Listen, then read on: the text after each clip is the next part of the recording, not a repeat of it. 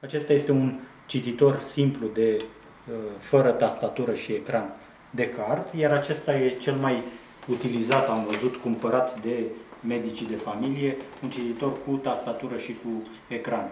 Mă autentific în sistem. Pe baza certificatului mi se solicită codul PIN.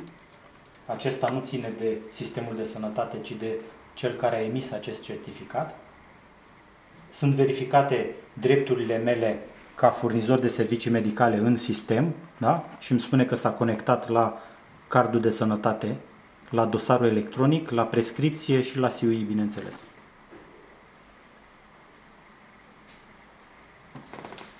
A venit pacientul în cabinet, deschide plicul cu cardul de sănătate,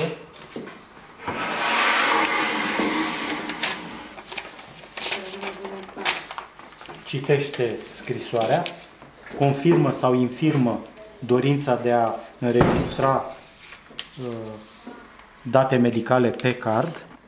Acesta este un card uh, nepersonalizat pe un nume specific, tocmai din motive de uh, securitate. Nu am voie să mă folosesc de identitatea niciunui, niciunei persoane decât a mea personal. Da? Îi se înmânează medicului care îl introduce în cititor.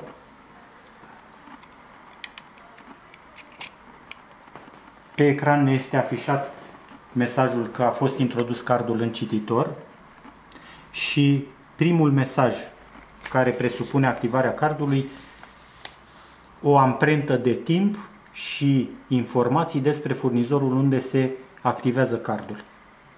Merg mai departe. Se solicită sistemului să verifice cardul, a constatat că nu este activat, mi se solicită pinul de transport care e trecut pe scrisoare. 3 de 0, 1, 2, 3, Enter. Mi se solicită pinul nou, acesta trebuie să-l introducă pacientul, e un, un cod din 4 cifre pe care și-l alege acesta. Și o confirmare a acestui pin. Se trimite cererea în sistem și în câteva secunde o să vedeți că se validează cardul. Operațiunea s-a terminat cu succes.